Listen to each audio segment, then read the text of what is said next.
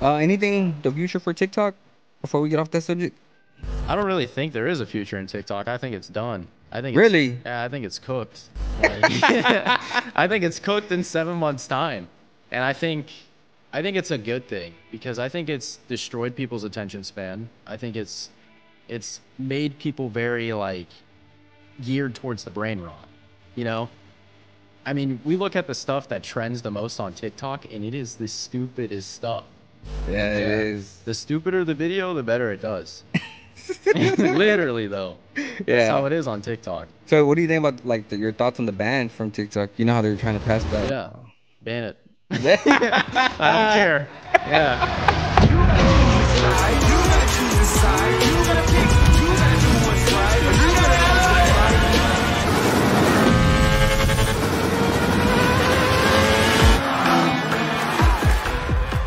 Welcome back to Go Hard Podcast, guys. Thank you for tuning in. We got an amazing guests today. You know, you seen him on TikTok, seen him on YouTube, and you seen him, you know, building his cars up. You seen the Mustang, the Camaro. Let's welcome Toby to the podcast, man. Can we get some live audience in the background, babe? Toby, So, man, uh, tell us a bit, tell us a little bit about you, man. So I've been uh, creating social media content for about 13 years now. I started when I was like, I don't even know. Well, that wouldn't even make any sense. I'm not 26. I'm 22. But yeah, a while ago. Um, started in middle school actually. I was making like gaming videos back then, and then kind of transitioned into the fitness scene. Uh, started growing a following for fitness, and then I started doing cars all while I was in college. So I think I've transitioned from fitness stuff to cars when I was in college. What made you get into cars though? Maybe like a car you've seen, maybe a um an influencer, you know, or maybe just a car on the road or Honestly, I've always been into cars. I just like didn't have any passion to make videos for them until when I was around, around like 17, 18. But my first car was my mom's CLA 250. It was a 2014, and I did a downpipe, intercooler, everything on that. It was actually the first RENNtech tuned CLA 250 out there. So I was their test and development car. Uh, they tuned it for free, which was pretty cool. It made like 250 wheel. It was slow, but like I was always into cars. Since I was 16, I plasti dipped that car. Kind of cringe, but Yeah. you, do you think you started off like ricer? oh yeah, type? oh yeah, for sure. Damn. I I definitely come from a ricer background. I was the guy with the the fake blue tips on the exhaust and everything. definitely came from the ricer Do you background. think you're still kind of ricer? Eh, I like the cosmetic mods, but I still like to make power. We're not making crazy power like other guys out there, but still making good power. Yeah, yeah. What about like um what's ricer to you now? I don't know. Like a lot of people misinterpret that term. I feel like you know they they say rice to like carbon fiber car parts and that type of stuff, but in my book, it's like a race inspired cosmetic enhancement. I mean, like if you're putting carbon fiber on your car, it's not race inspired. You're getting weight reduction out of it. It's actually beneficial and that type of stuff. And I think a lot of people mix that term up. Like you'll put a spoiler on your car, oh, it's rice, you know. I think there's a difference between rice and distasteful. And I think a mm. lot of people like mix those two things up. Yeah. That's that makes sense. But I think the rice would be like the fake carbon fiber. Yeah, that's Because true. carbon fiber is fucking expensive. yeah. I mean, you get carbon fiber doors, they're fucking high. Yeah, that's You what I was referring to. So I have people that tell me, "Oh, your car's a ricer because it's got carbon fiber fenders, hood, trunk, you know." But it's all real carbon, so I don't really understand it. You know, I'm getting the weight reduction benefit out of it. It's not just for looks. So yeah, What do you save on on the weight wise on the with all the carbon. Yeah. Uh, well, I know the trunk is 20 pounds lighter. Like I did a visual whole like showing the weight difference. I put it on the scale and everything back then when I put that on. I mean, I've got a carbon carbon fiber drive shaft too.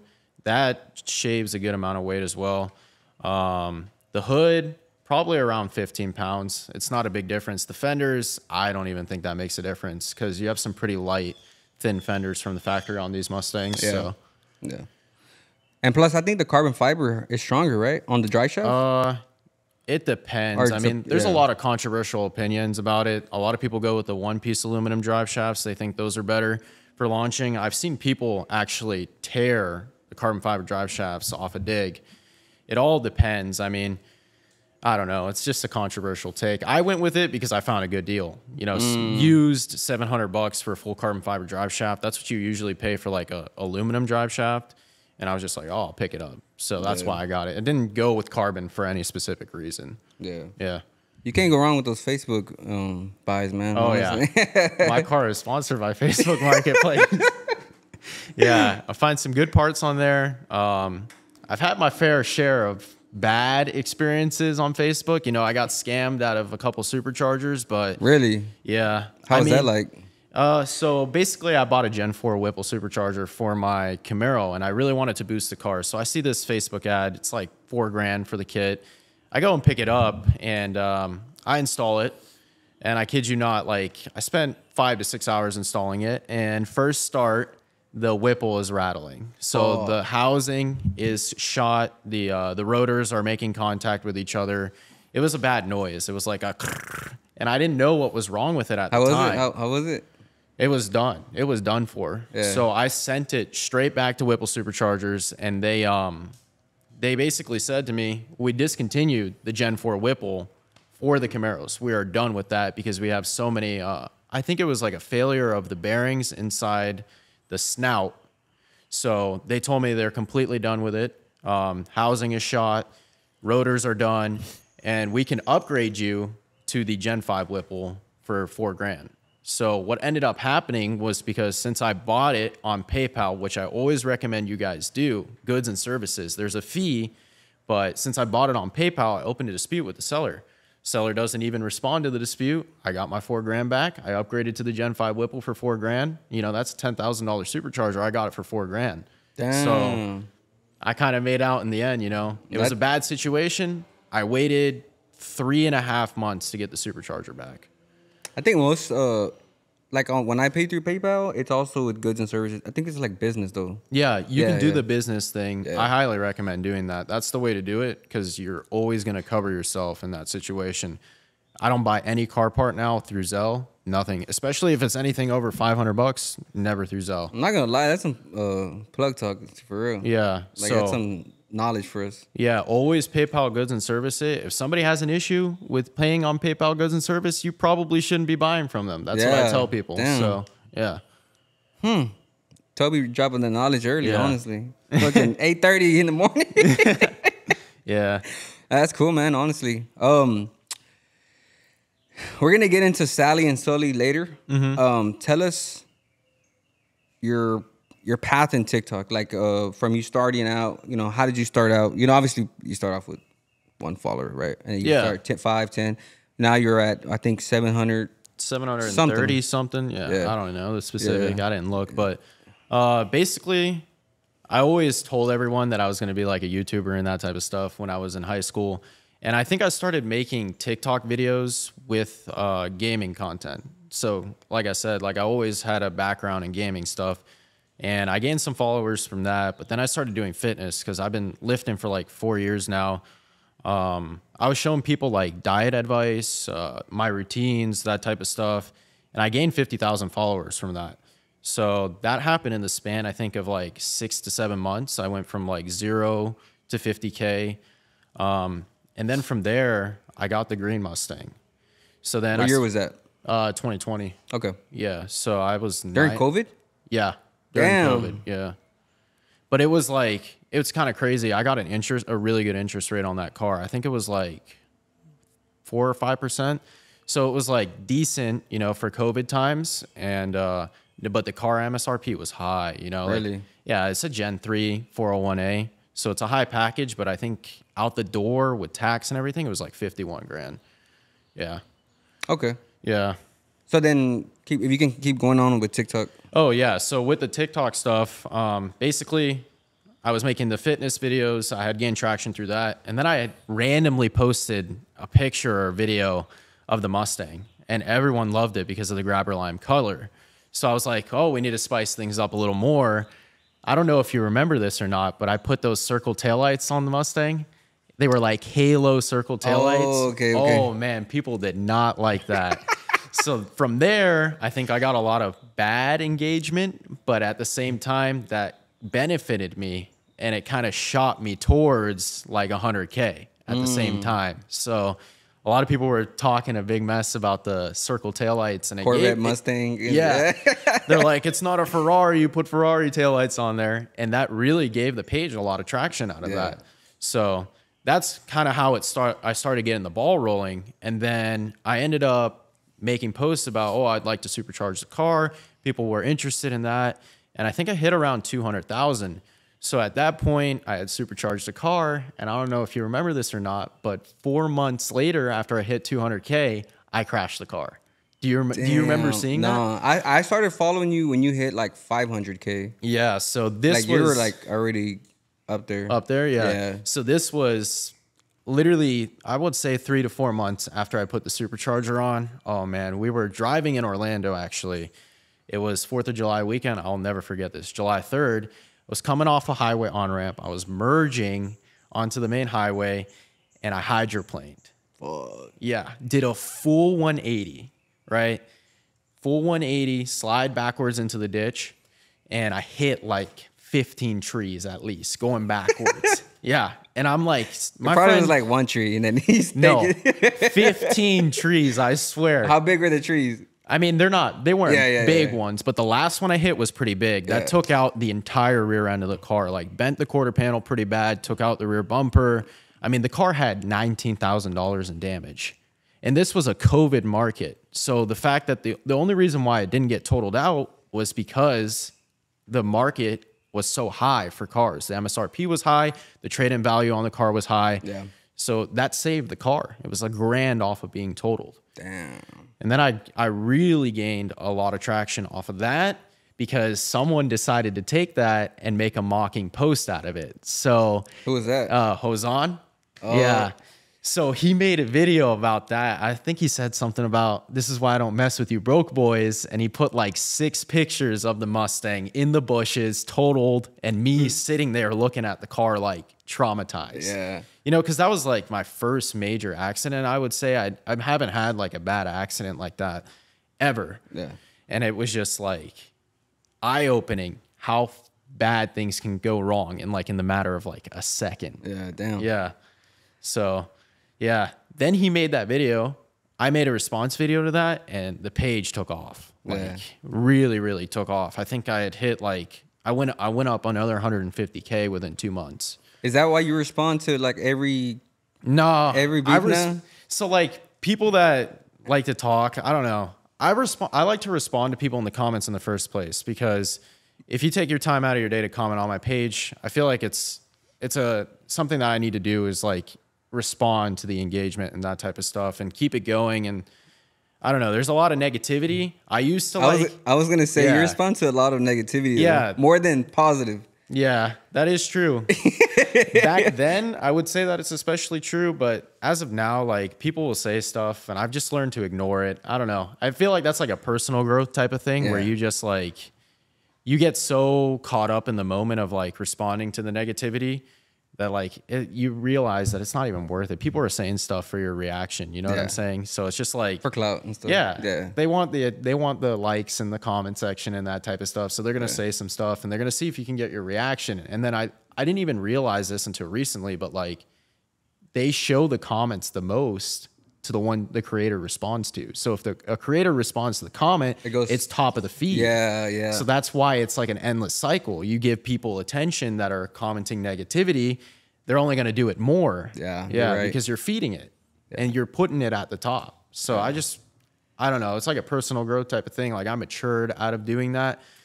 But like at the end of the day, you don't have anything to prove to anybody. So that's what I tell people like, oh, how do you deal with that all the time? I don't really care, you know. It's just it's just a part it's a part of doing this. People are always going to have something to say. yeah. Yeah. So you don't you don't respond anymore? No, not really. You're full of shit, Nah. Toby. You think so? Yeah, I think you do, man. I think I think you stay respond because you responded to fucking uh, one Elite Ja. Oh yeah, about that. I did respond to him about that because I do want to race him. Yeah. Yeah. We're trying to organize something. He said he got he has to get the the C7 Z06 out. I mean, I can tell you the whole lore behind that. That Yeah. was crazy. So I am friends with Jordan. I've known Jordan for a while. Uh, Chino SS. Yeah. You're familiar with him, right? Yeah, yeah. So I've known Jordan for a while, and I thought that Jaws' car was boosted. I knew that he had the 416 setup, and I didn't really understand that his car wasn't boosted. So I asked a question under Jordan's post. I said, What's the point of running a 416 with no boost? Genuine question to Jordan, not on Jaw's post. But then Jaw took it and ran with it, Yeah. posted about it, called me out, all this stuff. And I'm like, Bro, what?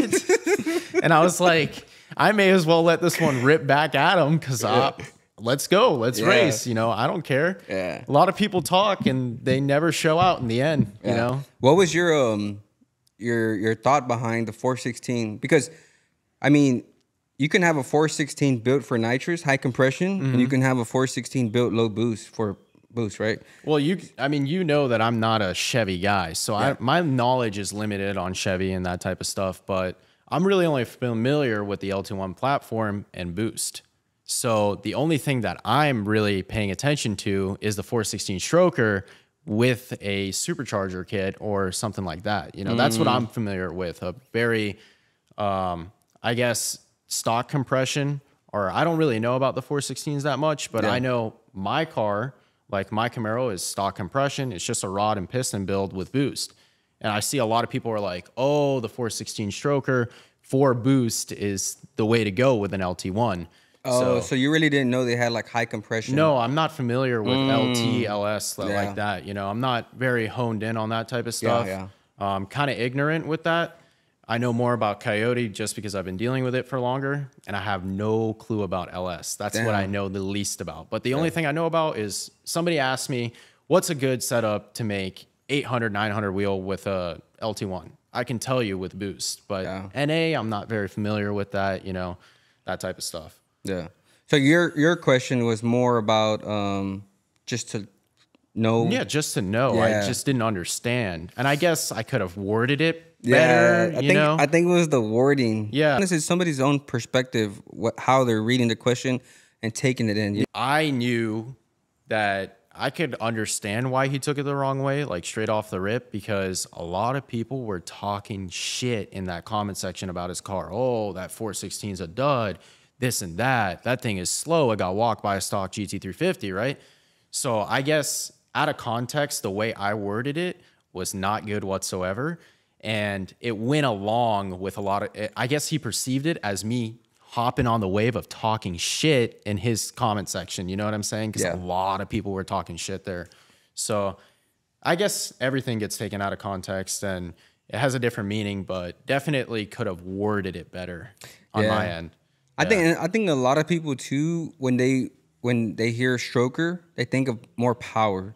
But usually like LS LT guys, they go stroker is to hold the power. Like you're not gonna make a big amount of power just doing that. You're gonna hold a fuck ton of power. You know, forged rods, forged pistons, forged crank, billet crank, whatever the fuck you want to So pretty much it's bulletproofing and it's not increasing. I wouldn't say bulletproof because you can still break that motherfucker. well, yeah, but like making it less likely to right, grenade. right, yeah. Like his 416, whoever built it, I'm not sure who built it. It would it, would- it would hold a good amount of power, depending, you know, what rods, what pistons. guess uh, people associate with stroking like as in increasing displacement. So they do that correlation of oh, you I'm do increase displacement, but you just don't increase the HP that significantly, like much more. Is that you know? I get that you. makes sense. Yeah, it makes sense. Yeah. Like I said, I don't really know much about NA builds and Yeah, stuff no, like yeah, that. yeah. I'm a forced induction. I'm not. guy. I don't know everything either. You know, we're all just learning. You know, Yeah. guys, we're not like experts, honestly. You know. Yeah, What What do you What do you think about when they when they call you um like the TikTok mechanic or the TikTok automotive guy? So I don't really take offense to it because I'm not a mechanic. I wasn't raised in a family that does that type of stuff. They're all white collar workers. You know, my mom's a doctor. My stepdad owns restaurants. My real dad, who I haven't spoke to in a while, but he is also a doctor. And my mother's dad is a doctor. My father's dad was a doctor. So we come from a family of doctors. And it's just like, why would I take offense to somebody calling me a TikTok mechanic? Because at the end of the day, I'm not a mechanic. I just do it. I just want to figure things out on my own and I want to know how to fix things. The last thing I want to do is be dependent on a shop to, you know, have any sort of work done. And at the end of the day, it's just like useful for me to be like, oh, I have this problem. I can diagnose it myself and fix it. Yeah. Or I bought this supercharger. I want to throw it on. I can do it. Or I need a new trans. It's not like a big whoop de doo boo hoo because it's a lot of cost that I'm subtracting by doing it myself. Yeah. You know, these shop uh, hourly wages and stuff like they're chart they're taxing. So it's definitely useful to know how to do it for yourself, and I want to learn. Not only that though, you can work on your car whenever you want. Exactly. Yeah. So like, the shop's open. Let's say nine to five, yep. or they're they're closed on the weekends. You can change your motor That's my biggest pet peeve too. Yeah. Is like, okay, I'm gonna take my car to a shop, right?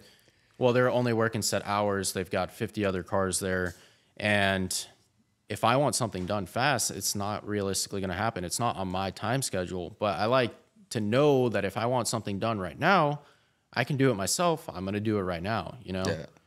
And Not only that, you can document the car. Exactly. Everything. It's, it's a part of my content It's bank, creation. yeah. Like how many of my videos of mine are just like me installing stuff? A, a good portion, you know, and then I just look at it as a learning process. Yes, I show my mistakes because they're helpful. If somebody feels too intimidated to do something for the first time, they can look at my video and say, "Hey, he made this mistake, so I know not to make that mistake when I do it." That's why I show it. You know, Yeah. I can pretend that I don't make mistakes. It's very easy to do that. I can cut to the final result, show everything 100%. yeah. You but I- control the narrative. yeah, I control the narrative. You know, I can I can be imperfect, but I want to show the full process behind it to show people what it's like to learn. It's not to like be the gatekeeper, be the one who knows everything. You know, Yeah. yeah, that's not what my page is about. I think the real question is why didn't you become a doctor? Why didn't I become a doctor? I don't know. I went to UF. Because I mean, you said you- you came from a family of yeah, doctors, right? So I went to UF on academic scholarship. I graduated top 10% of my class in high school. And um, I just, I don't know. I'm smart. I can, never had issue with classes. I soared through all of that.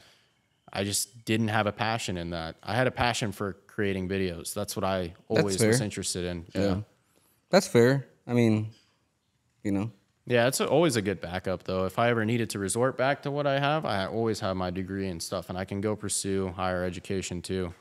So yeah. what do you think? So since we're on TikTok and talking about that, what do you think about how TikTok's changed as far as uh, RPM wise?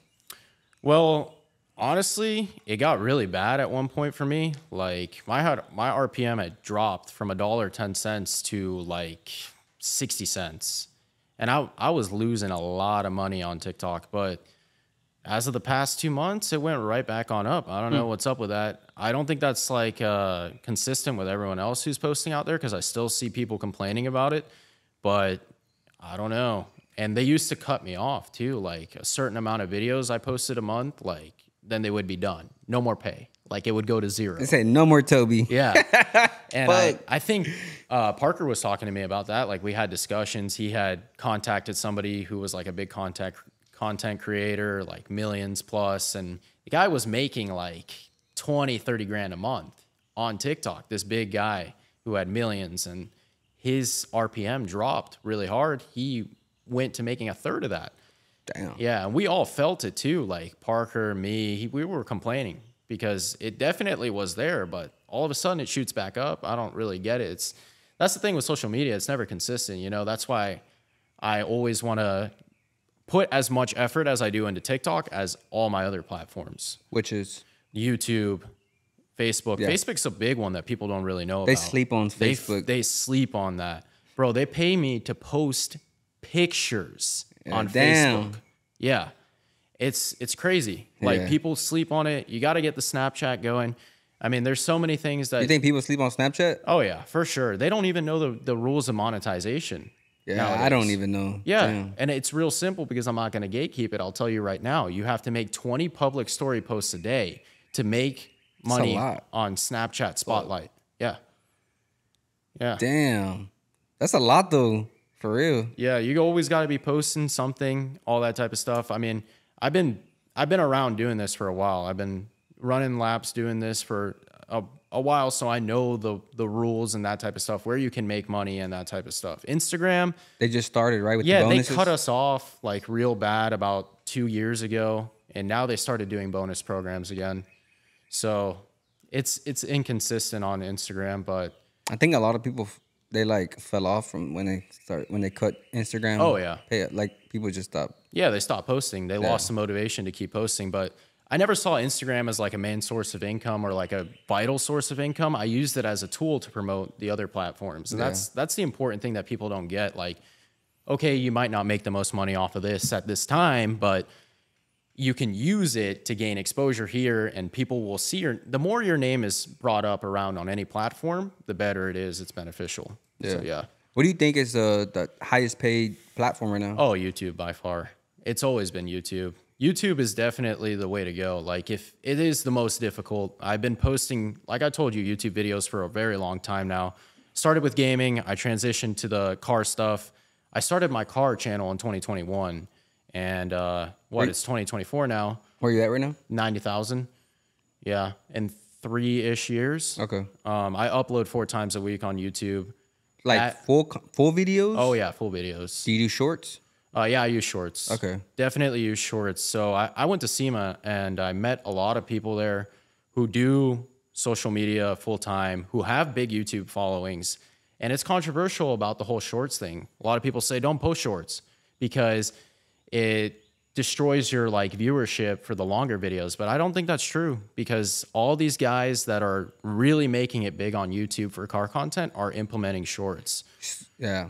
So according to like just going based off of analytics, Mm-hmm. like shorts is where it's at. Oh, yeah. Like uh, they, those bring the subscribers. Yeah, they bring the subscribers, they bring the views. Yeah. It's definitely worth it. And um, you can even tag your videos. I'm sure you know, like your longer videos, it helps. Yeah. I've seen my video shoot up by 3,000 views overnight because I tagged it on a short that went viral. Yeah, yeah, that's Yeah. true. What's the the highest uh, viral uh, short you got on YouTube? On YouTube, I think like 20 million. Damn. Yeah. Um, my longer videos, I think the most I've done is like 100K. Okay. Yeah. Yeah, yeah. The shorts definitely is a game changer. That's I, so I, the way I like to see it is like the shorts bring in the subs, and then when they sub, the long the long longer video comes out, and then they watch it, and boom, you know, like Yeah, it, it definitely helps. And there's a lot of people that um, use it in a, g- a good, constructive way in order to bring the audience back because they'll say, oh, if you want to see the rest of it, check out my longer video. You know, so it definitely helps. I've seen it make a lot of people's channels big yeah, real quick. yeah. Yeah. I think um YouTube, ah, fuck, I think we're like a year and a half. You guys got like 80K, right? Yeah, a little Yeah. bit over. Yeah, That's pretty good. Yeah. And you got good. I was like looking on your thing before, just like trying to get a feel for the podcast stuff. You guys got good, and like good views and good engagement. Yeah. yeah. It, I think that also depends on guests. be Yeah. Yeah, bigger names brings a lot of attention. Yeah, controversy, that type of stuff. Yeah. Uh, anything the future for TikTok before we get off that subject? I don't really think there is a future in TikTok. I think it's done. I think Really? It's, yeah, I think it's cooked. Like, I think it's cooked in seven months' time, and I think I think it's a good thing because I think it's destroyed people's attention span. I think it's it's made people very like geared towards the brain rot. You know, I mean, we look at the stuff that trends the most on TikTok, and it is the stupidest stuff. Yeah, it Yeah. is. The stupider the video, the better it does. Literally, though. That's Yeah. how it is on TikTok. So, what do you think about like the, your thoughts on the ban from TikTok? You know how they're trying to pass that. Yeah. Ban it. I don't care. Yeah. At the end of the day, I really, I think it would be a good thing. Really? But that's your highest. That's you have the most followers on there though. yeah, but Like- I, I don't know. I just don't, I don't really like it that much, honestly. The way that they, it's very rigged. Okay. So, for example, um, any sort of like keyword I'll use, like, I don't know if you've been watching my videos and stuff, but I have to censor out a lot of words because they'll like to shadow ban me all of a sudden. You know, I have a, usually I'll have a video do like one to 2,000 views in the first 10 minutes that I post it. Well, I'll make a video mentioning something about my mile an hour or my Yeah. speed or something like that. And the video will get like 200 views in an hour. You know, they, you can definitely tell that they're moderating it. And I actually know somebody who works at TikTok and he's like, yeah, there's a tag system. So if somebody who's manually reviewing your videos feels that you are violating the TikTok terms of the For You page, they can tag your videos out of the for you page. Bam, bam, bam. Damn. Yeah, it's definitely a real thing. He showed me the whole process, but yeah, he no longer crazy. works with them. Did he work in Austin? I have no clue. Oh. Yeah. I don't I don't know any specifics. He just sent me videos about how the whole thing works. He showed me on his computer. It's a real thing. Damn. Yeah. That's crazy to Yeah. know. So you have to be careful with what you post. I think they use a lot of AI too, though. Yeah, it's a lot of AI, which of falsely flags stuff too, which is Yeah. annoying, you know? But there is people manually reviewing videos too. And if somebody doesn't like you in moderation, can tag you, tag you, tag you, they can keep tagging you.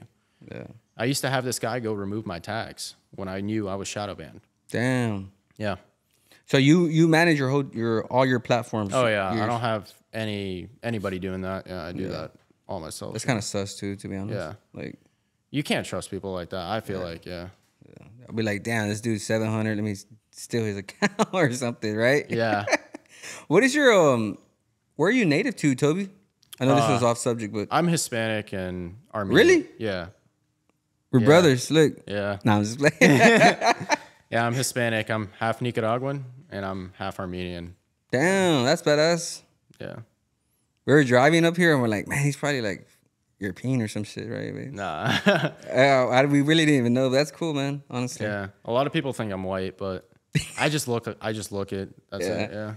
Damn. Do you do you go to like to your um your roots sometimes? Like Yeah, I mean, I still I used to speak Spanish fluently, but I haven't spoken it in a while. Um, I still understand it fully, but I mean, Armenian side of things, not can I hear you speak Spanish right now? I mean, I can understand you. I can't speak it that well. Oh. Yeah. I can't speak What? it that well. I know, bro. I'm gonna tell you something. Uh, we just say something, right? To to those watching, I can't speak Spanish like 100. percent I can understand it and someone read it, and I can't fucking speak English for shit. I just can't speak nothing. I swear to God. so it's, all over the place with me, man. Honestly, I can't speak English right. I can't speak Spanish right. I, fuck, I'm, I'm fucked. You know, like just. They're gonna roast me, but fuck it. It's just as simple as that. you Where know? are you from? I'm from Houston, Yeah, but born like, and raised. originally, you're Hispanic, right? Yeah, but Yeah. I'm born. Yeah, but where though? My, my parents. Yeah. So like my my mom, she's from San Luis. Okay. That was white as fuck. She's from San Luis, right? And then my uh, my dad is uh he was in the states, So you're you're not a first generation American? second generation. Second generation? Yeah, yeah. So I'm, I- I'm a first. Yeah. Yeah. Hmm. Yeah, my parents came here when they were uh, 19 and 20. okay. Yeah.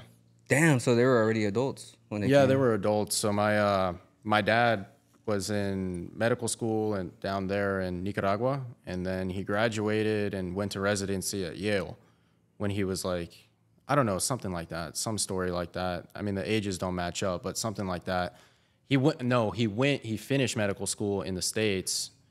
Um, And, and this your real dad or stepdad? my real dad. Okay, And okay. then my mom came to uh, the States when she was 19 to go to the University of Miami, and then she pursued the medical degree from the University of Miami after undergrad and all that type of stuff.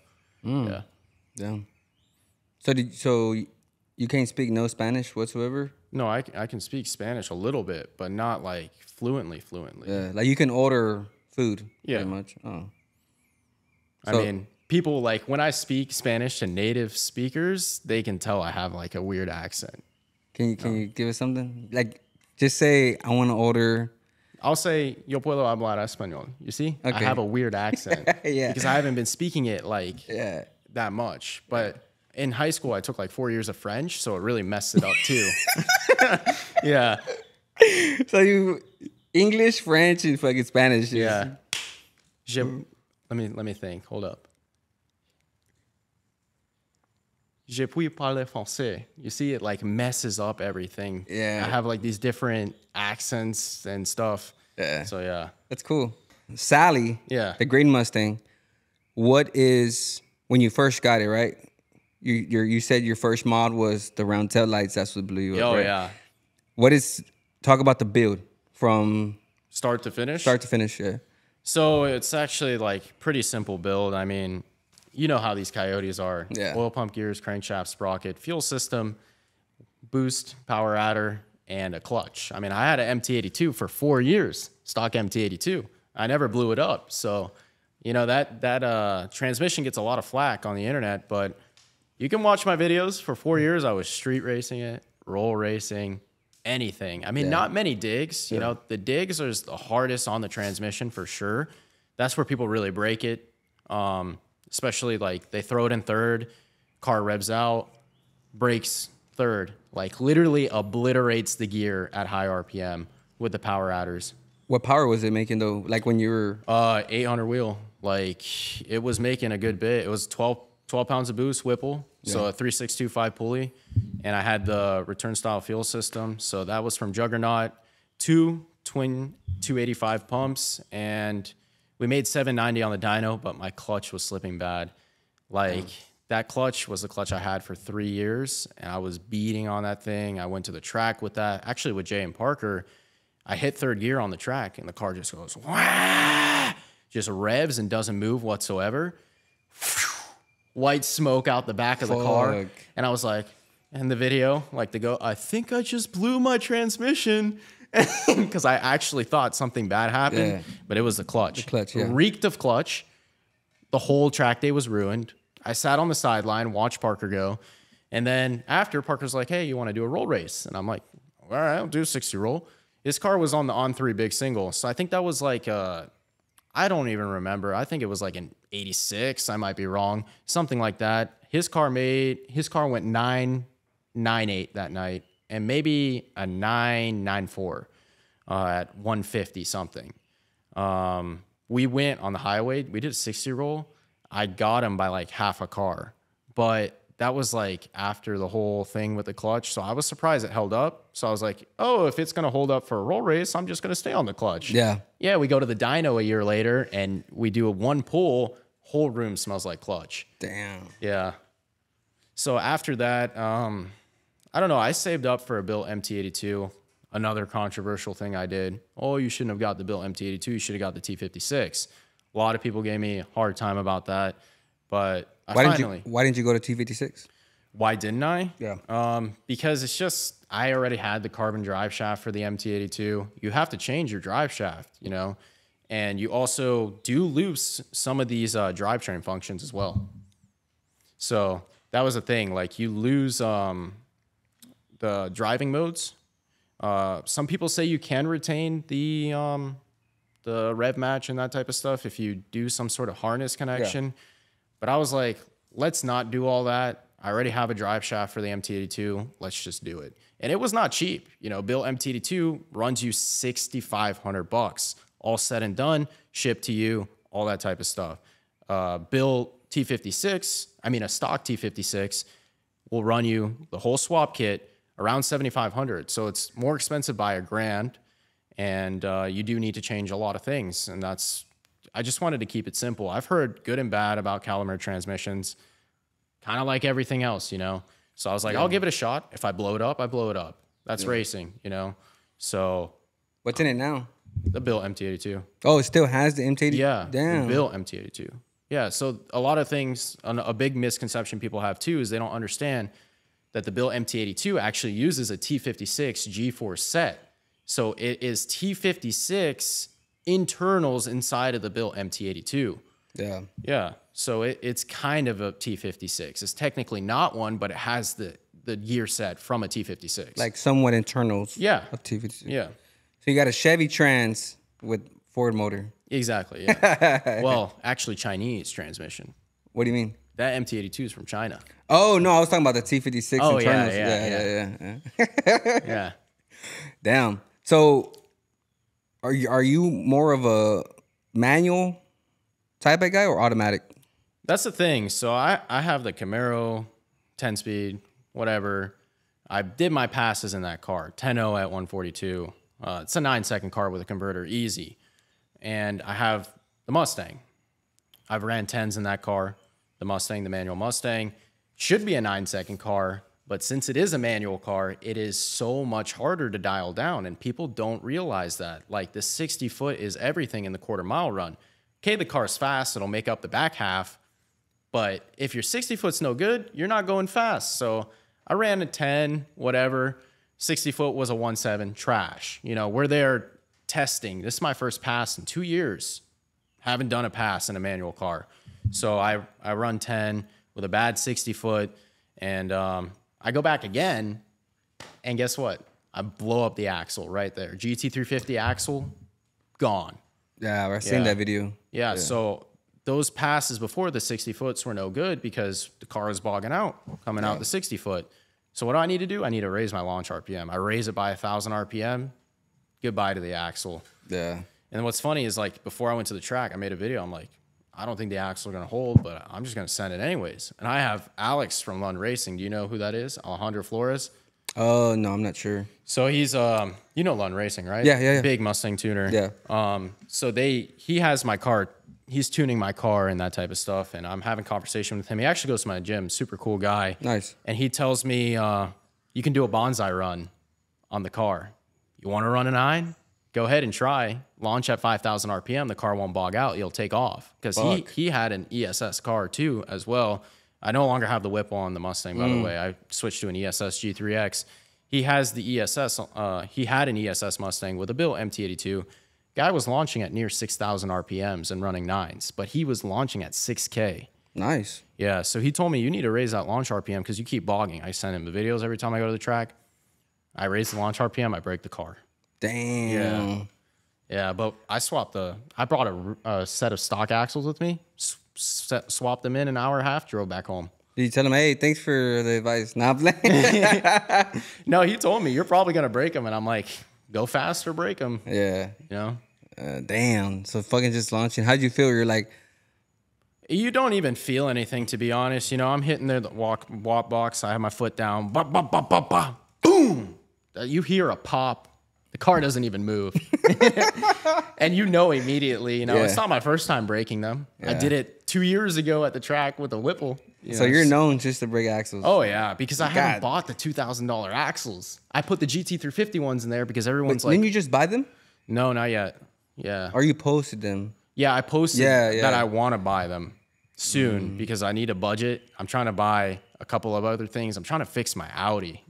Oh, the S4, right? Yeah, oh man, yeah, that's yeah. a problem child. That one is rough. But um, yeah, I'm just the next step is to buy axles. Um, the car has a lot of knock sensor activity at the strip. We don't know if that's the built trans.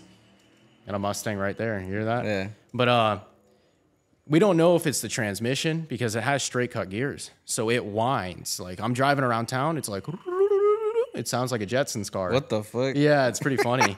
yeah, so uh, it's just loud, and we think it's the knock sensors getting active from the transmission and the clutch. Yeah. What's the um? What is the future for the car? For that car, Yeah. I want to run a mid nine. Yeah, like the the record right now On the a- on the MT82. on the? MT82. Yeah, yeah. The record right now for my blower setup manual car is a 9.4. Mm. So yeah, that's the goal is to run a mid nine in that car. To beat the record, or Yeah, I'd like to beat the, the record, but it's hard to beat the guy who has the record because it's uh I think his name's David Van Norris from Coyote Direct. That oh, guy- is that the guy? oh yeah, he can, Oh, he okay, can with the white. Ford F150. Yeah, he can drive that guy. So it it's gonna be hard Yeah. to beat him, but he's got a nine four. Definitely got a lot of seat time on that too. I don't even know if he's stock motor or not, but he probably is. Yeah. Damn, yeah. Hey, shout out to Coyote Direct. Yeah, I don't think I've ever met him before, but I've seen his videos and I just like seen his Instagram posts and that type of stuff. He's got some fast cars. Yeah, nice. So let's get into Sully Yeah, that's the Camaro. The Camaro. Yeah. Yeah. you could give us uh the sauce on that. You know, tell us Yeah. about uh when you first got it, the wrap. You know, because I know it's uh wrapped in blue and white. Yeah. And um, So it uh, recently got stolen. Yeah. I think that's a prank, by the way, but we can talk about that. What do you mean? Uh, so I have a spare key for that car, right? And I only gave it to one person. I gave it to my mom because I'm traveling all the time. And I asked her the other day out of curiosity, I'm like, is this, this thing actually got stolen? I need to know right now. Is this a joke or not? Because I have my buddy Devin staying with me, who's been staying with me for like the last month. He's in between travel assignments, he's a travel nurse. So I think he coordinated a prank with my mom because I had asked him for the spare key or my mom for the spare key. And she's like, "Oh, I have it locked away in a safe." And I'm like, "Why do you all of a sudden have this key locked away in a safe when you always have it on you because you need to move my cars when I'm not here, you know?" And that mm. type of stuff. So I kind of got like sketched out by that. And a lot of people were like, "Oh, why aren't you taking it more seriously?" Or like, "You're more why aren't you more concerned?" Because I don't think it's real. Like I think I mm. think they're definitely cooking something up. There's too many coincidences because Devin left the night that happened. Oh damn. Yeah. So What if it's not a prank? uh, then I don't know. Then I'll then then I'll hit a realization and be like, it's probably not good, you know, because Yeah. first of all, I'm financing that car. I owe 20 grand on it. I'm 35 grand deep in it. There's a lot of money in that car. So Yeah. no insurance is gonna pay you out for that. Yeah. They'll pay you for the value of the car right now that it Kelley Blue Book's for with no modifications. I didn't report the modifications. They would hike my premium up. So Yeah, they would. That's true. yeah. And I, I know what's his name, but his his shit got stolen for real, for real. Who, Chino. Jordan? Yeah. His shit was Yeah, that's crazy. bad, bro. Yeah, I saw that. I was like, damn. I mean, you know, most most guys. I mean, I, if you're building a car, you get it stolen. Obviously, you're gonna be hurt by it. You know yeah. what I mean? Yeah. But it's like, damn, like they fucked this shit up bad. Yeah. That's the thing. Like, if it is a whole big play on everything, I'm gonna jump Devin, bro. Like, I'm gonna jump on him. Cause like that's not it's so much of a it can only go so far, you know, that's kind of serious. You know what I'm saying? Like that's not okay. Yeah. and I hope that's not the case, but like we'll see. Uh, no, you hope it's the case that they're. Well, yeah, yeah, I you. hope that's yeah, the yeah. case, but like not the case of the other Yeah. alternative, yeah. So talk about the build on it. Like, what have you uh, done to it? So it's a very simple GPI drop in rods and pistons. I mean, stock compression, literally stock crankshaft, just drop in rods and pistons. Funny story, I did some research and I figured out that the crankshafts actually are not balanced from the factory. My tuner actually told me that. So he's like, you should probably send that thing to the machine shop because GM doesn't have a very good reputation for upholding the standard of actually balancing the crankshafts and that type of stuff. So I stupidly bought drop in rods and pistons because I thought it was going to be simple and faster to get the car back because they're not going to send it to the machine shop. But the car ended up going to the machine shop because I was scared. You know, I don't want to throw all this money in the car and then have it blow up because the crankshaft wasn't balanced from the factory and we're banking on that. So, I don't think it's they're not balanced from the factory. I just from my experience, and uh, if you want to correct me or whatever off in the comments, but anytime you change any component in the engine, rods and pistons, it throw it, you're gonna have counterweights, right? Yeah. And it's gonna just be not um balanced, like you say, right. Yeah, but that's the thing. GPI sells the kit as in this rod and piston combo weighs the same as the factory rod and piston, so you're good to throw it in. And don't don't get me mm. wrong, they they do it all the time. You know, they sell this kit to people all the time. They have no problem. I just took it as an extra safety thing Gotcha. because I'm like, I have the motor apart. Let's send it to the machine shop anyways. Yeah. And the only downside of it was the fact that it sat at the machine shop for a while. Machine work takes a long time, especially in a busy area like, you know, it was here in Orlando actually, the motor was here. And it took a while, but I would rather do that for the like uh, peace of mind. So was it balanced? Did, I mean, was it off balance when they put it on, or They didn't tell me anything. They just Oh, took damn. pictures. I asked them to take pictures of the crankshaft and the balancing. They marked it up, whatever that means. I'm not Yeah. a machinist. Yeah. And uh, yeah, that's it. That, that's all they showed me. You know, it would have been cool if you would have, uh, if you would have told them, "Hey, can you drop them in? And see if they're it. balanced, Yeah. and then if they're not, that's kind of fucking sketch. Yeah. because you have a company selling, you know, rods and pistons that are balanced for that crank, and then they're not. You know what I mean? Yeah, but um, yeah, I definitely see what you're saying. But again, it, I don't think it would be on GPI's end because they're very prestigious. Reputable company. Yeah. Okay. Oh yeah, for LT, very good. They got fast cars. They know what they're doing. It would be on GM's end, if anything. That's what I would feel like. Like my personal opinion, I don't think it would be on GPI, but that's why I just took that extra step to do that. I mean, besides that, the car really doesn't have anything else special. It's got a boost cam from GP Tuning. He's over in California. It's got the cam kit supporting mods for it. Uh, he he did the custom cam for the boost. He spec'd it out. Uh, it has stock heads. It's nothing crazy. It's just a rod and piston car with a Whipple. Uh, I did add port injection. I did that whole thing. Damn, that was a lot, right? Yeah, that was a lot of work. I'm not gonna lie. I did the aux pump too. So I drilled into the fuel tank, uh, added the external fuel pump. I set up all the fuel lines running from the fuel tank back so that it could feed the port injection too. Yeah. Uh, made all of that. Uh, threw some 1000 cc injectors in there from Fuel Injector Clinic or Connection. Actually, I always get the two mixed up. And then yeah, that fuel system's good for like 950 wheel in an LT car. So yeah, it's pretty good. And the, why did you do the wrap like it is now? Half like that. Yeah. Honestly, I don't even know. Like it was just an idea that came to me. I was like, all right, let's do it. I had uh, my powder coat guy do the drip on the Whipple, mm-hmm. and he actually kind of came up with the idea, and I was like, okay, just run with it. Hmm. Yeah, Yeah, I seen the the Whipple, the, the top match, the top, Yeah. the top hat match the uh the core. I was like, okay, cool, you know. yeah. I just rode with the original idea. And it, what what uh has uh had beadlocks on it right now, right? No, it has VMSs, like just very standard drag pack. Don't even have the front runners for it, and it was running 10.0.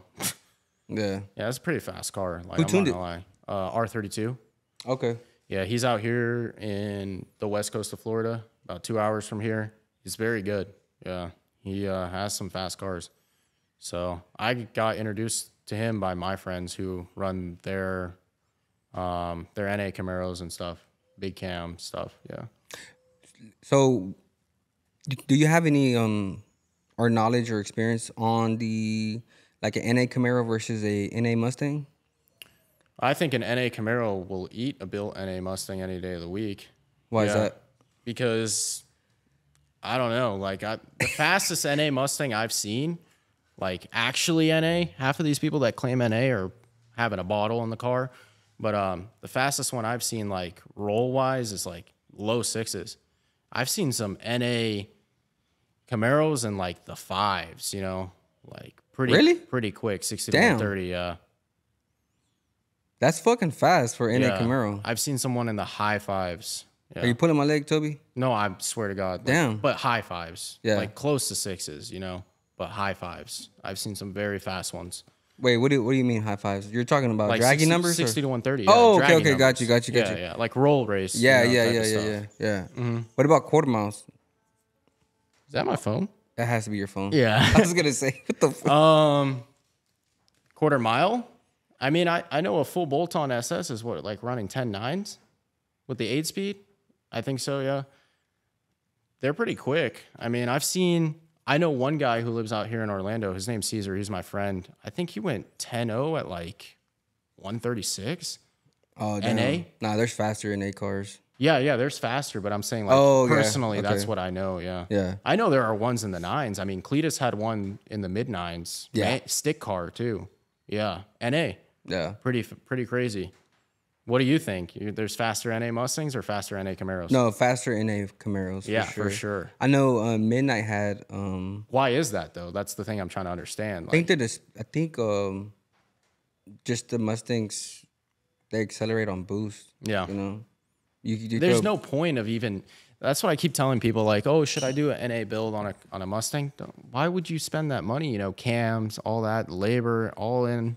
It's not worth it. What It's you- not. Why? It's when you not. could spend the same money on boost and be faster. Yeah. So it's just definitely see faster NA Camaros for sure. Yeah. But I'm not big in the NA scene, like I told you. You know. Yeah, I I used to be so like when I when I built my truck, and I'm gonna get off the topic of me right now, but I'm just gonna toot my own horn. When I built my uh, Silverado single cab, um, I was in a. It's a shit ton of money, literally heads, thirty five hundred bucks for heads. You know, uh, PRC two thirty seven heads, um, big cam. You know, uh, custom grind from Texas Speed, and you're just like everything is bigger when you go in a right. Uh, Holley Hi-Ram, uh, you know, it's everything is it's it's to me it's pointless going in a. It's Yeah. pointless. Like it's if you're if you want power, it's pointless. If you want if you want a record, go ahead spend all the fucking money.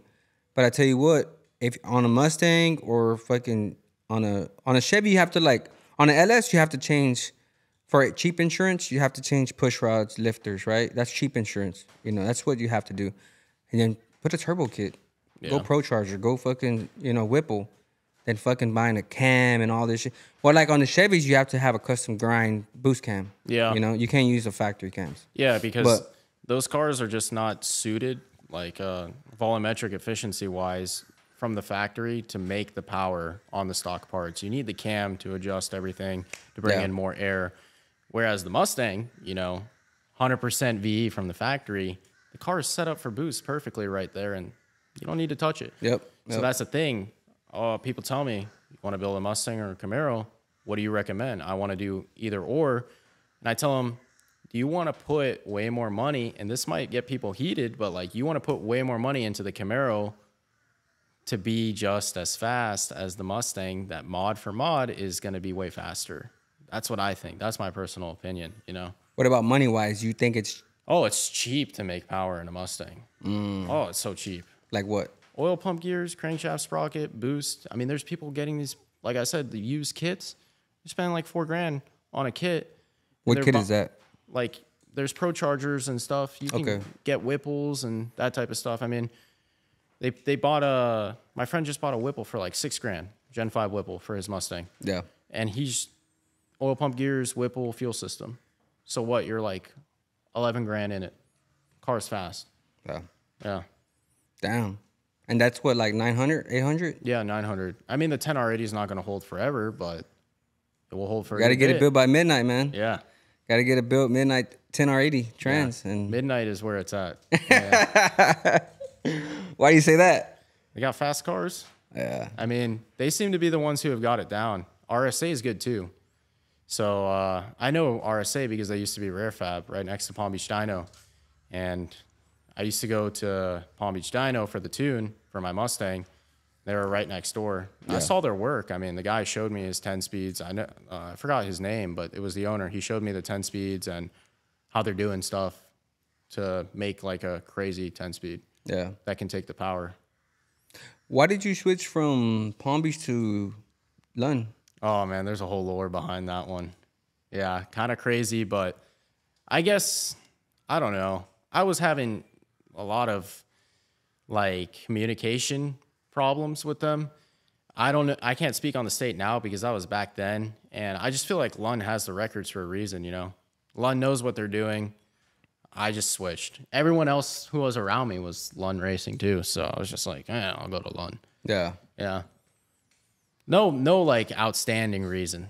Any know? any did you notice anything different about the car, how it performed or I mean, not not really. No, I mean, I did have a good bit of like detonation. Like, I had a good bit of detonation on the other tune, but who knows? You know, that on the Palm Beach Dyno Yeah, team? Okay. but who knows? That could have been in between revisions. We're not hundred percent done. You can't like just jump to conclusions. You have this and you have that. You know, I'm I like preach that a lot because you can't just make these comparisons. You need to like, okay, well, was it done fully? Probably not, because the car was fresh with the Whipple. yeah. And then I switched to Lund very quick, so it wasn't like refined and done. But I'll tell you what, with with Lund, they move fast. You know, they send you the base file.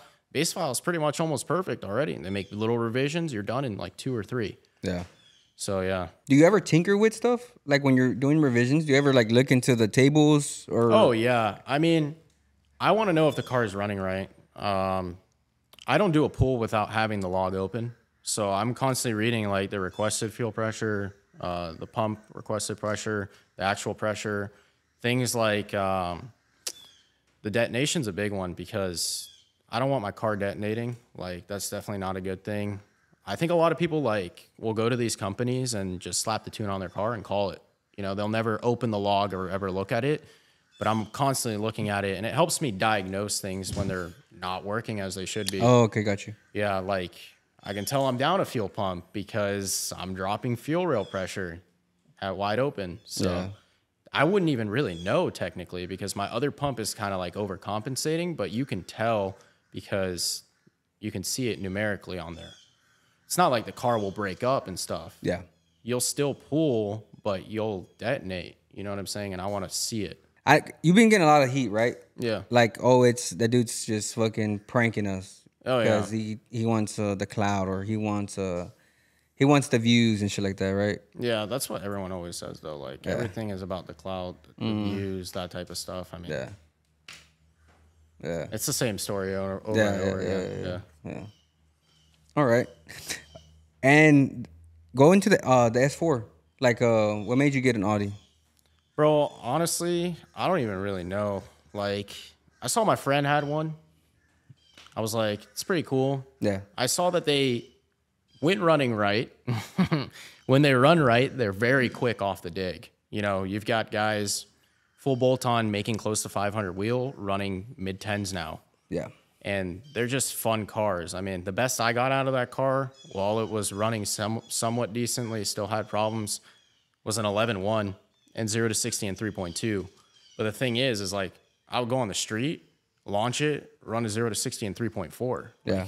I can't do that in my other cars, you know? It's just like crazy. I think it's my phone again. Yeah, you're good. So it's just like a different thing. And I was like, I need a daily driver that will get some gas mileage, you know? And I got that.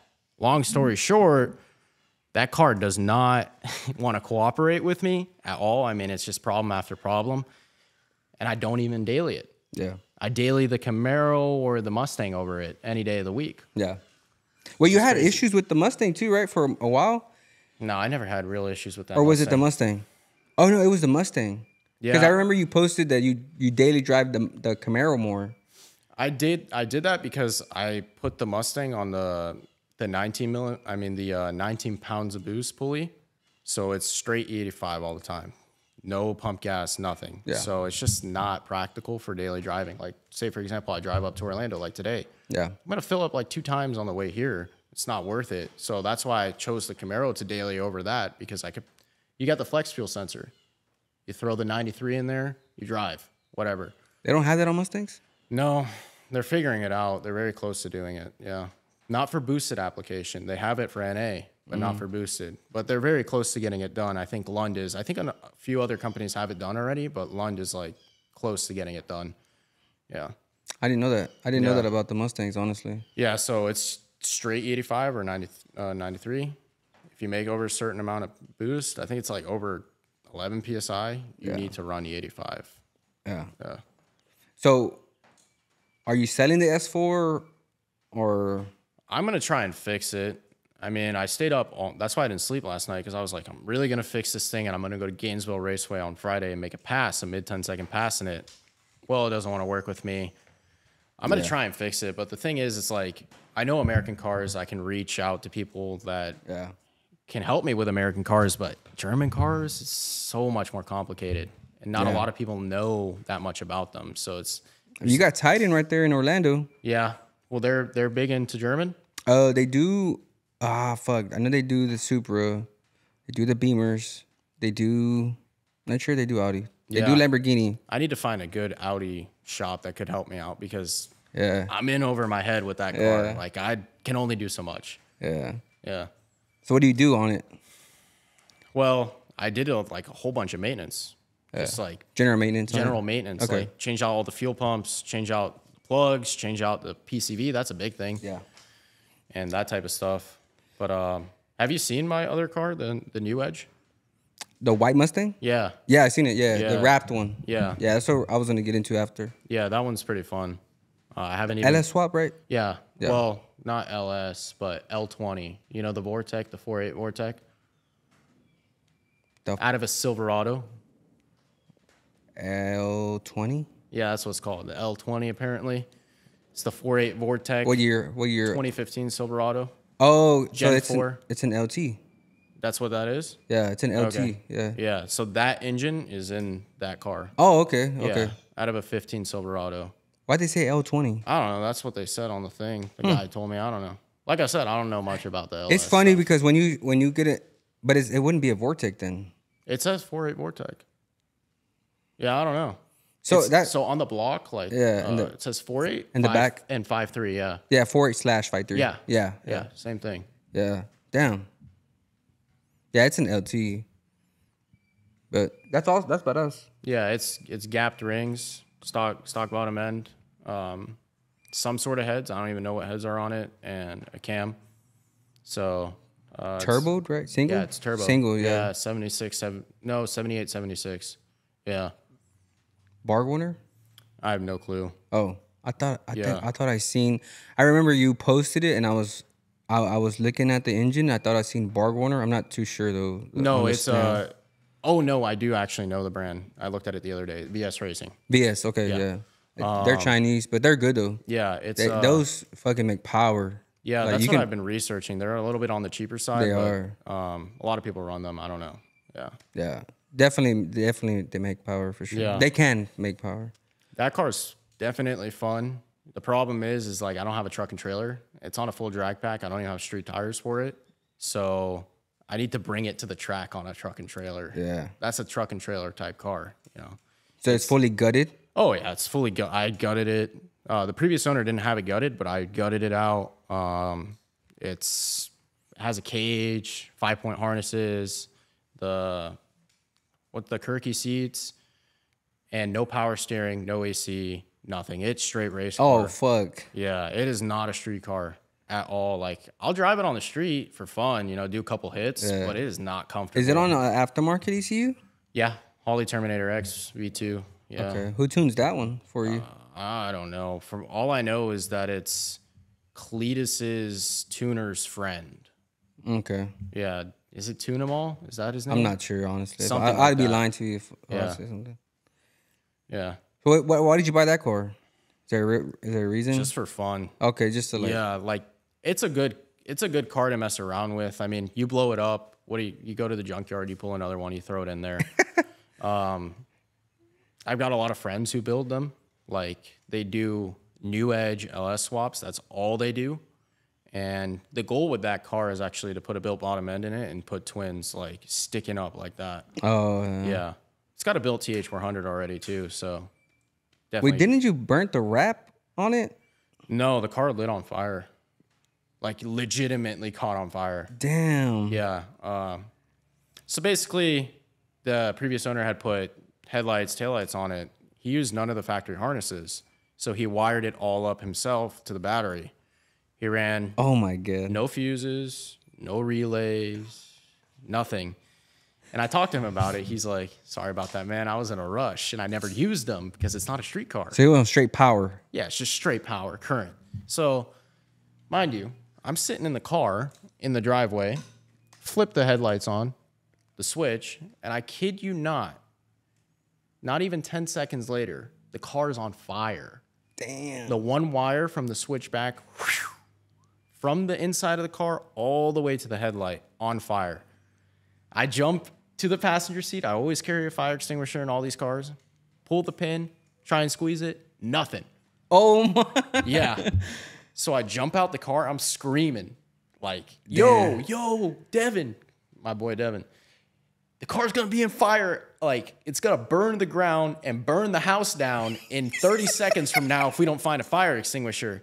And he freezes like a deer in headlights, Oh my god. just stares at me.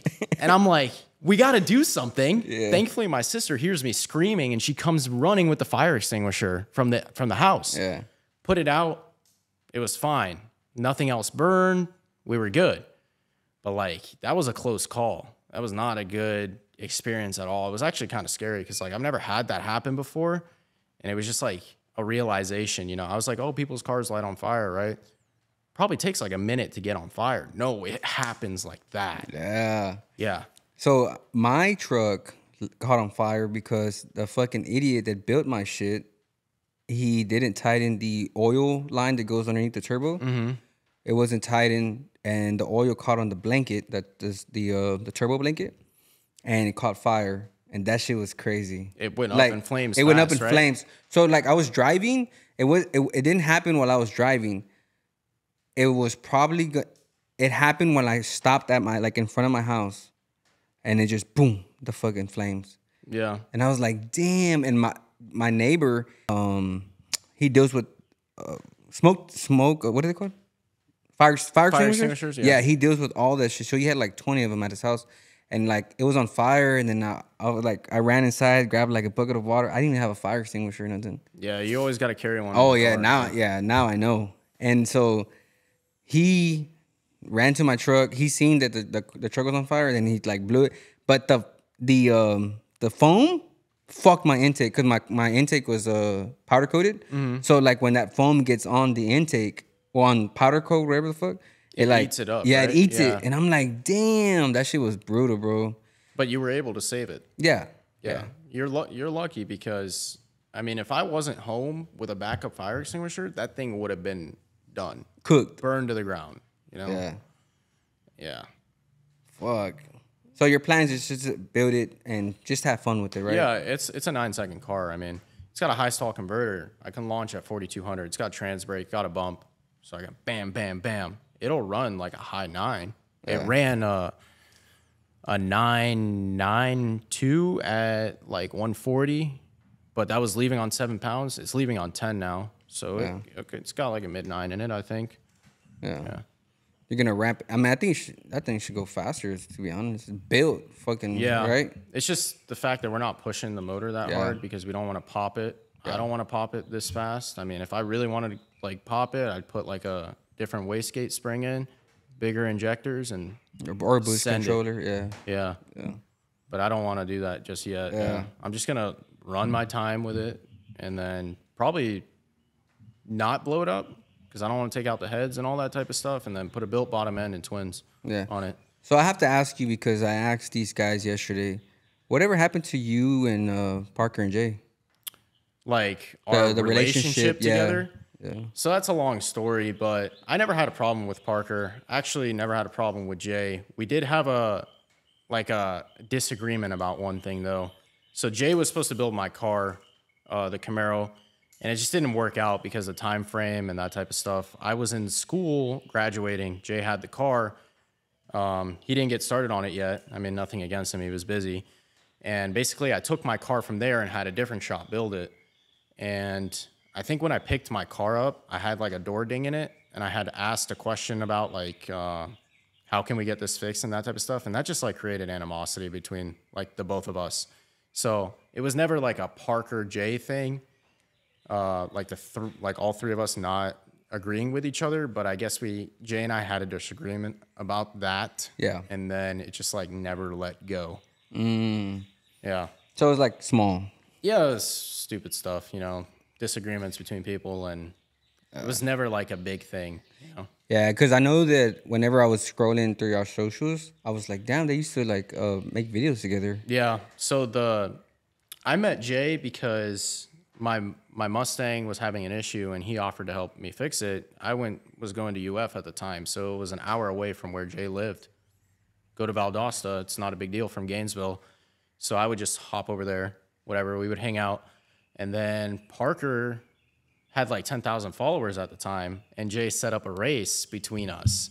Yeah. So that's how I met all of them. So I met Jay first. Like Yeah. I, I was the first one to meet Jay. We were friends, and then Parker came to race me, and then we all became friends. That's how like the circle was. Yeah. Yeah. But So you're still cool though, right? I mean, yeah, yeah, we're still cool. I mean, I, I hang out with Parker when I'm here in Orlando, here and there. I don't really see Jay because he's up in Georgia. Yeah. I saw him at the track last time, but yeah. You say what's up? Hey, what's up? Oh yeah, I said what's up, and he he ran his pass. I was like, good luck, all that type of stuff. Yeah. Yeah. That's cool. I think like some some guys probably miss y'all like in the videos. Oh and yeah, stuff. together. Yeah. We had we definitely had a good thing. I mean, if any time you collaborate with people that have a following, you do like better. You know what I'm saying? Yeah. Like it's just good to revolve with people that are always making videos and that type of stuff, and they're good about that. They're always posting. I'm for sure see people missing the three of us because we always would. That's how it originally started. You know, Yeah. it was me first, and then bringing Jay into it, then bringing Parker, and then we kind of just all made videos together. So it was like the original like trio. Yeah. Yeah. Didn't you start a um like a detailing product? Yeah. Line? Yeah. So I I do. Um, it's pretty cool. You can check it out. Zesty Wash. Like, Yeah. It's got a silly name, but it's pretty cool because it's a colored snow foam. So like you can't do a colored snow foam at home typically. You would have to go to the drive-in car washes and spray the multi tricolor. Well, we brought that ability to do that to your home front, you know, you can buy the bottle, spray the pink foam. It smells like strawberries. It's cool. We're releasing like other colors very soon. We're doing green apple, so it'll shoot green foam, and then blue raspberry, and then we have pineapple coming out. Just a couple of them, and then Yeah. yeah. What was your um maybe your perception on it? Like what is you know, do you just wanted a product or I don't know. I just always thought it was a cool idea. It was actually Devin's idea. He's my partner for that. He was like, "Yo, I got a really good idea. We should do this and make it Yeah. color foam and that, all that type of stuff." And I was like, "You know, that's actually a really good idea. That's pretty cool. Like, it's unique because you can't do that with any other wash. So mm. it brings something else to it besides like the fact that I can go to Walmart and buy like five different foam foams and they're all going to come out white. You know, it's it adds something to it. Like it's more yeah. entertaining in my mind. Yeah? Yeah. Hmm. Because I I seen it in the comments. They're like, "Oh, this guy's copying these other guys." Yeah. and, you know, like Yeah. what are your thoughts on that? So I think that recently happened with me spraying myself with it, Yeah, but we did that first. Yeah. Devin and I did it like four months ago for our Yeah. product launch. Like I just sprayed Devin with the foam and covered him. And I guess Parker did it recently when he dropped his line. And I guess uh, people were just like trying to stir stuff up, like we said in the beginning. I always love the animosity to create problems where there aren't problems, you know? do you um, do you like ship out every day or how did that? Yeah, When did you launch that? I launched it like, mm, it couldn't have been too long ago. I, I launched it in California actually because we did like a whole professional shoot two months ago. Um, we ship and package all of the stuff ourselves. So I do it. I take the bottle, package, Yeah. get the order, and then I send it out. Drop it off at the post office. Yeah, we don't have any fulfillment yet. It's just like small business right now. So you package everything and Yeah, I package everything. Hmm. Put the label on everything. Go post office, drop it off. Yeah. Why why zesty wash? Cause Devin's like a little zesty. Like I don't know if you've ever seen Devin. He's like a little zesty. So I gave him a nickname, the Zesty Man. and people loved it, man. Yeah. People, oh my God, is that the Zesty Man? I'll never forget this this time when I I'm bringing my Camaro home from the shop, like after they put the built motor together, Yeah. and they made a mistake with the fuel pump, not lashing it properly. So the car like leaves us stranded on the highway, and we walk to Ale House. Walk into Ale House after the tow truck comes, and this kid goes, "Is that the Zesty Man?" Like from across the restaurant, and we died, man. Like that Oh was so my funny. God. So we just kept it rolling, Yeah, kept the name in it. Yeah, that's fucking funny. yeah. Zesty man. That dude's probably like, damn. fuck- Well, he turned at me and he's like, "Fuck you." yeah, because I made it like this whole big thing. That's fucking funny. They don't even know him by his first name. They just call him Oh, the Zesty Man. That's kind of good though. Yeah. He's still low key, right? Yeah, like all, telling all the time we go somewhere. Zesty Man. Yeah. that's how they know him. Yeah. Would you consider yourself a um like a humble TikTok guru? Yeah. I mean, there's like some pretty outlandish behavior from creators that have a big following. Yeah. I'm just like, bro, I'm a normal person like you. I just happen to sh- to make a living off of doing this, Yeah. and I'm passionate about it. It's no different than some a regular person that is just like doing their own thing in their own right. So it's just I don't get when people have like an ego about that type of stuff. Like, oh, I'm I'm big news, I'm a big shot, bro. It's like it's a kids app. Like, come on now. Yeah. Like you're not a, a big shot. That's what that's how I view it. It's Yeah. just like I'm a normal person. I just post videos. That's it. Yeah. Yeah. Hmm. So what are your thoughts on like like when people do think you're Like a like a like a douche? so like- they they I don't understand how they get that perception, but they get that perception based off of videos. And the weirdest thing that I think is going on on the internet is that people develop these opinions about you without actually knowing you. Because I'm sure you had a preconception of me, right? Based off of my image personality, but you're sitting here talking to me, I'm talking to you like a normal human Yeah, yeah, being. yeah. It's chill, you know what I'm saying? It's all, again, a lot of things get taken out of context based off of internet personas. We make a joke on the internet doesn't mean that we're always thinking that way or we say something in Yeah. the moment where we're not right. Well, guess what? It gets put on blast because we're a creator. Yeah. Right. So people think, oh, he thought this way or he did this. He's a bad person. But Right. you sit down and have a conversation with these people that you think are bad people. They're normal people, bro. Like they're just Yeah. it's chill. You know what I'm saying? Like It was kind of controversial. there's there's been like a few things. The thing that people don't understand, like I will I will never look for conflict, right? You'll never see me in someone's comment section talking garbage. I won't make a post about someone talking garbage because that's not I don't believe in that type of stuff. You know, I don't have time in my day to think negatively about someone else. Yeah. So if you see me making a video about someone, I personally believe that they did me dirty in some right. And that's why I'm making a video about it. And half the time, no, I'd say a good 75% of the time, it's a response to them. It's not me saying anything. Like I will not go look for trouble, but I have looked for trouble before. It was well deserved. You know, it was like a get back type of thing. And that was not What was towards that? any other creators. Oh, I had a whole big falling out with the roommate that was living with us with Parker. That's probably what you're thinking about. Is that with Nick? no, not Nick. I never had a problem with Nick. So Oh, yeah, I didn't really know Nick like that. mm, okay. I met Nick a few times. I pulled Yeah. his TH400 out of his S2000. That's about the extent I met Nick. Yeah. Yeah. What was that guy then? The, the Oh, this was a whole problem with that Xander guy that was living with us in Kissimmee with Parker. That was the or- original house. So we had all moved in. We had a falling out. It's whatever at the end of the day, but like he broke up a lot of personal relationships. And Really? yeah, that's what I didn't like. And it just negatively impacted everything because he had we had gone from being close friends, like the whole group, to having everyone swayed against me based off of some BS. So that's why I was like not riding was the it. BS true though? No. Oh, Like it was all like backhanded like lies that were made up to make someone look bad against each other. And it would flip flop based on who was hanging out with who. So I just didn't like that. And then I ended up like deciding to move out of the house, and come back home. So, so y'all were all roommates at one point. oh yeah. You, But Parker, Xander, and so Parker wasn't living there. Parker never had ever like hung out with me or we never lived together. He was just on the lease. So Okay. Parker was in Georgia finishing up whatever. I was in college finishing up. I signed the lease. I live in Orlando while still doing college. I'm back and forth between Gainesville and Orlando. And Xander was living with me. And Parker wasn't there. When I left, Parker came about two weeks later. Down. He moved in, yeah. So Parker and I never lived together. No. Mm.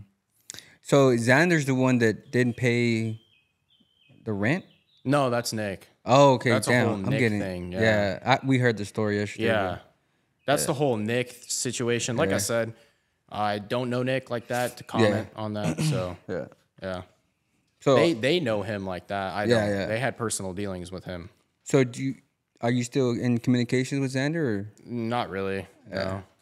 Yeah. I mean, it's just like bad blood. Yeah. I don't I don't really have bad blood with anyone, but I'll tell you I have bad blood with him. so and I don't like I don't have any problem saying it either. I made it known. Yeah. So, um, Damn, it must have been fucking. Yeah. So one thing that they said is like, if most of the beef doesn't get posted, right? Real, real life beef, Yeah, yeah, right? yeah. But when it does get posted, it's probably because it was ten times worse in person Yeah. than online. Oh yeah. Damn. That, that's true. So you got to look at it like it from a book value, right? Like a face value. If you're going to talk about something, like it's got to actually aggravate you and bother you. That's how I see it in That's my, true. my point of view. Like if it's some petty bullshit, we're not going to really discuss it. Like why? Unless you're really clout like hungry. Oh, let's make a big deal out of this and that and this. Let's post about it. Then yeah. Yeah. But like if you're actually doing someone dirty, bro, that's when I get mad. Like, and it was a lot of it against me. Yeah. So even Parker like didn't like me at a certain time because he was being fed bullshit. Oh, Yeah. damn. So that's why you didn't really see us making videos anymore because he was listening out in his ear to somebody who was right beside him. I'm nowhere in the picture. He doesn't get to hear my side of anything. Yeah. Yeah. Damn. You get those a lot. You get people like that a lot. I Oh, mean, yeah. not a lot, but you they come around. You know. Yeah. They- That's, they that's the weed out. biggest thing with social media. Like, it's crazy what people will do to try and befriend you to get that benefit out of you. It's nuts. Like, they will go to the craziest extent. And then there's some really real and genuine people that you meet at the same time that are awesome. Yeah. So it's like that's the trade off. You got to deal with that to meet the good people. Yeah, yeah. Like you're on the podcast, man. You're on the podcast Yeah, right now. exactly. I know you mentioned uh, Ca- California a lot. Is there a reason why you do it over there than Florida? Uh, no, because my friend lives out there. We go Oh, visit okay. him and stuff. We've been out there like twice. We're going back like next month. So, uh, yeah, it's just it's cool. California scene's different. They're not allowed to have fast cars over there. They so they do though. They They they have- here and there. Like from the meets that I went to, it was mostly show cars, like Mm. that that they were doing. And I was asking people like, "Yo, what's up with like where like where are the really fast cars at?" Oh, it's not as common as it is in Florida. They were telling me. Yeah, because of obviously the emissions. Right, right. I, I do. I know. I hear. I hear you. I see where you're coming from, but dude, they have some fast cars. Yeah, they have fast cars. and they street race. Like, Yeah. I mean, I know it's super illegal and all this and that, but like they no, they but get. Mexico's right there, right? Yeah, yeah, Yeah. yeah. That's true. yeah. Do you do a lot of street racing, or do you prefer the track? I prefer the track. Why? I don't know. It's just like hard to trust people because a lot of people jump in like these 900 horsepower cars and they're they're they're out there testing their car for the first time. It's just like can't really trust anyone. You can drive perfectly and then Oh, you're something- talking about trust them as far as driving. Oh yeah, like Okay. someone's beside you. You're you both are going 150. Like, come on, it's dangerous. At the end of the day, it's dangerous. I don't really YOLO, bro. Yeah, I don't-. I don't really like trusting people like that. I mean, I do it here and there, but I definitely did it a lot before. I think the the accident scared it a good bit out of me, where Mm. I don't want to do it as much. I like the track. Like I like to go to the track. It's it's official. You run your time. Yeah. It's safer, and you never know. Like you're getting in these high horsepower cars. You you don't control them. You know they're a machine. You never know what can happen. So I, every time I go, I'm scared. You know, it's, Yeah. it's a good thing to be scared of the car. Like it's definitely keeps you alive. Stops you from pushing the limits too hard. Yeah. I think before I had that accident, I was pushing the limits a lot. Oh, so you didn't, you you weren't like really taming yourself? No, yeah. Like I'm mm. let's do a hit right now.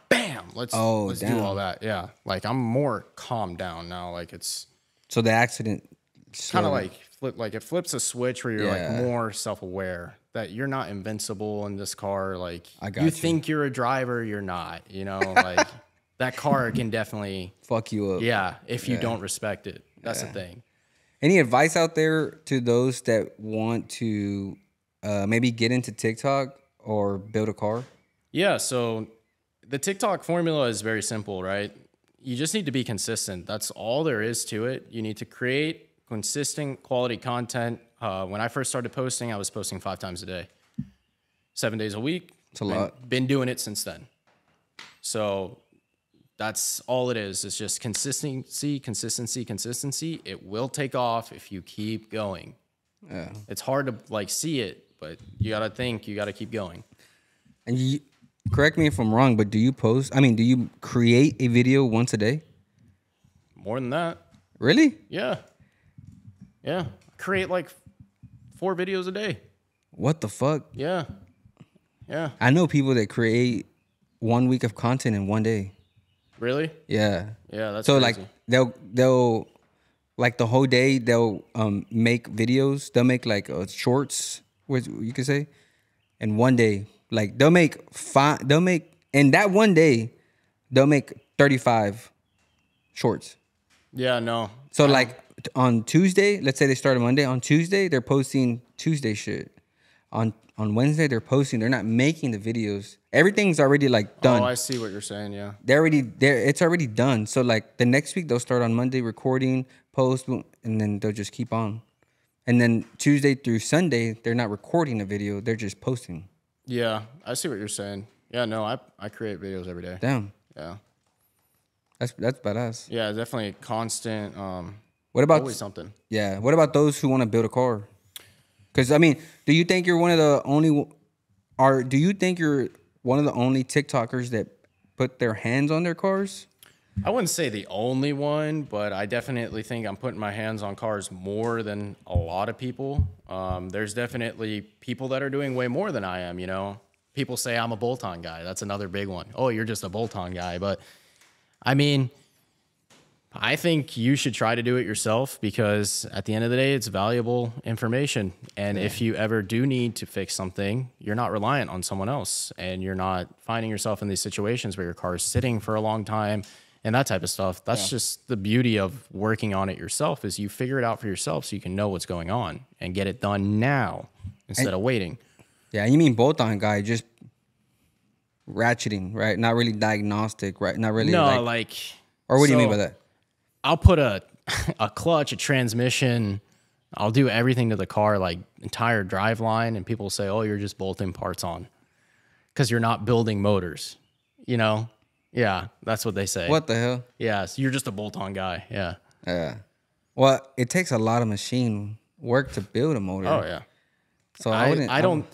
The thing is, like, I wouldn't take one of my expensive thirteen thousand dollar. I'd take the new edge engine. I'll open that up. Like, I don't care. I'll take that thing. I'll open Yeah. it up. But like a new Coyote, nah, I won't open it unless I have someone there that has done it before. Then I will do it. Yeah. Yeah.